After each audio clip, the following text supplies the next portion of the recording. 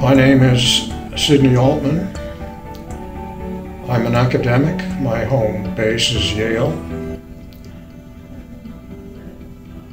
A few, a couple of years ago, uh, Mr. Hershkovich called me and asked me if I wanted to be a consultant for Betalin.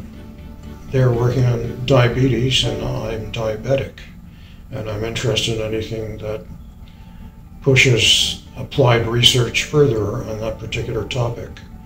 I was interested in the actual science of Betalin because from what I heard and then what I read subsequently, it sounded like a very clever way of getting around the problem of dealing with two injections every day of insulin. Some people are not quite that seriously affected, but I am. This past uh, last few months, I went on a trip to Moscow and Jerusalem, where I did some science in each places. Uh, and Jerusalem, it was as a consultant for Betalin, and I met some of the senior scientists there, and I felt that was a very satisfying meeting. You never know what you're dealing with until you meet the people at the company, which I did in Jerusalem.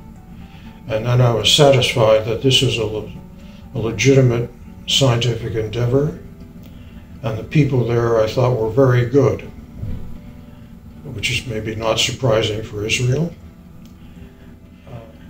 Sometimes, if you are a consultant, you go to various places, and the people you meet are not terribly interesting, and you wonder why you're doing what you're doing. But this wasn't the case. I thought the science was excellent. Now, Betalin is in an interesting position right now, or you can call it interesting if you want to. I think their science has moved forward sufficiently so that they're ready to engage in what are the th- trials and patients for Im- embedding this tiny little artificial pancreas, which is about that big. They've done it in mice, and the mice respond beautifully for 90 days. So they will respond to glucose in the blood and will start making insulin. That's as a consequence of what's in that little artificial pancreas. The first thing, of course, is making the injections uh, obsolete, which I can tell you would be, in my case, a big favor.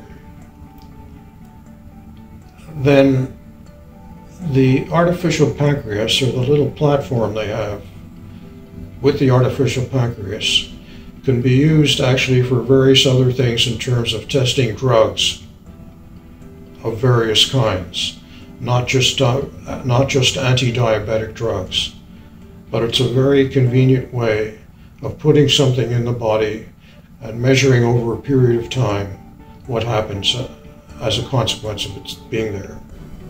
There are three phases phase one, phase two, and phase three. Phase one concerns the toxicity of the new drug, whatever it is. In this case, it would be the artificial pancreas.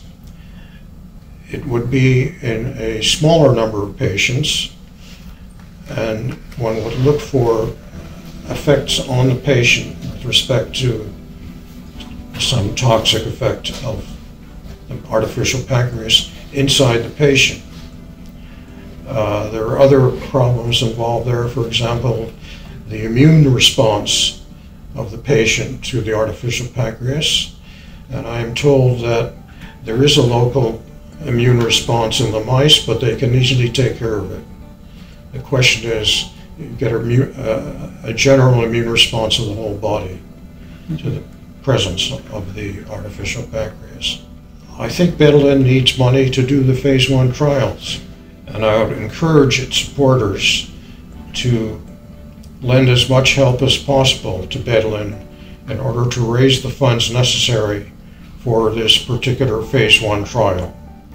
All I can say about Betalin is that the scientists look good at the moment From what I can say, the company absolutely needs new funds. I think that's the important thing to follow right now.